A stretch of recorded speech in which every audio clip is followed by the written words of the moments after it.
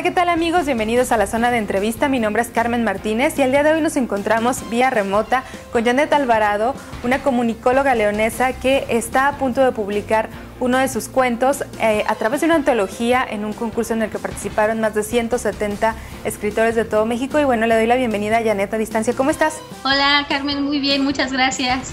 Oye, un gusto platicar contigo. Cuéntanos un poco sobre esta experiencia. ¿Cuánto tiempo llevas dedicándote a la escritura?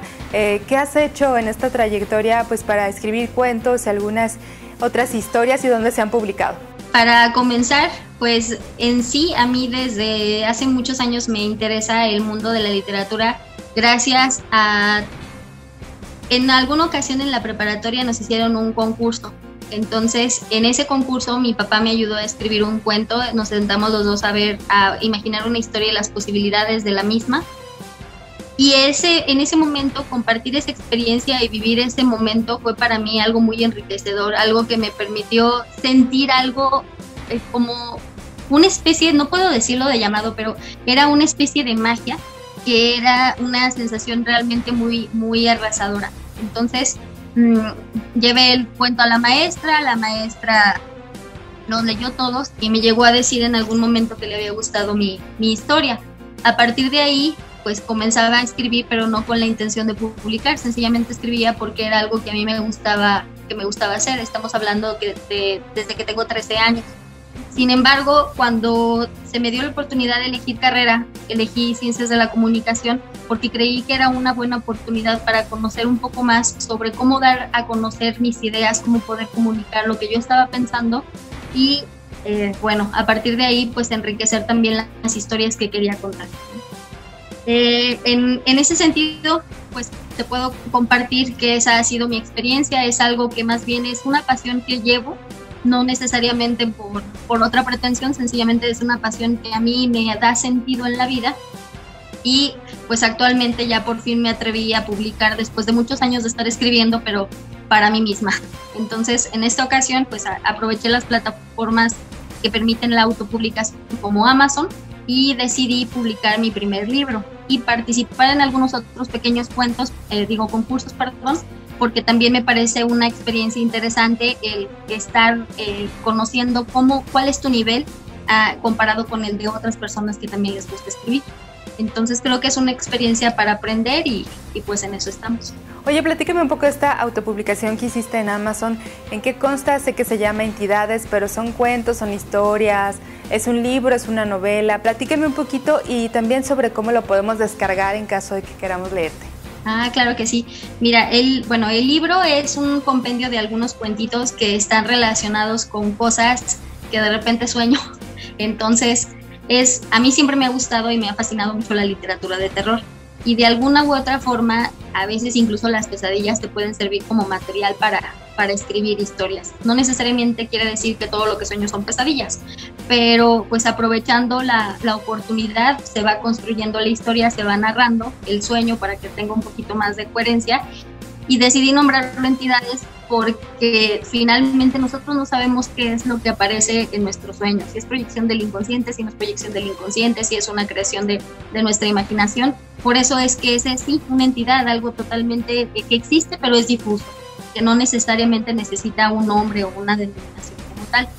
El libro se encuentra en la plataforma de Amazon, de hecho buscando en, el buscador, o poniendo el nombre en el buscador entidades, aparece con, con mi nombre, Janet Alvarado, y mm, pues bueno, se encuentra para descargar desde el 4 de julio.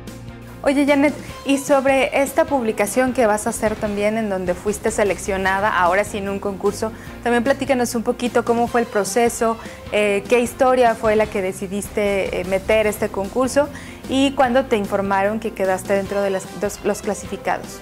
Bueno, el concurso eh, salió la, la, convocatoria en julio, ¿no? cuando precisamente yo andaba con el brete de, de hacer la primera publicación, también estuvo bueno, se, abrió esta convocatoria en donde solicitaban autores de México, de Latinoamérica, de España, autores en español, para compartir una historia que tenía que llevar de tres a cinco cuartillas. Decidí participar, como, bueno, como te lo mencioné anteriormente, porque creo que es una buena oportunidad de, aprendizaje. Con un, eh, la historia se llama La Vela.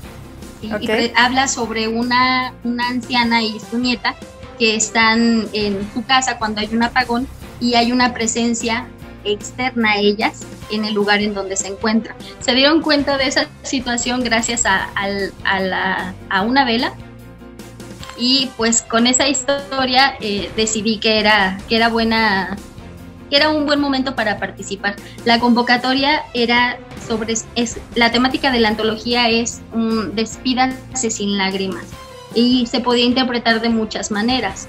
Entonces, para mí, una forma de interpretar esa, digamos, como esa temática es qué pasa cuando tú tienes un don y no puedes decirle a otras personas, tengo este don. A veces muchas personas que tienen alguna situación X, la que sea, sufren lo que podría ser una bendición para otros, pero para ellos es una maldición, sin temor o sin tristeza de las cosas que mentalmente nos estorban para vivir lo que ya tenemos, sea lo que sea, o llámese dones, talentos, Em, pretensiones. Creo que es importante dejar el miedo a un lado pues para aprender a, y atreverse a vivir.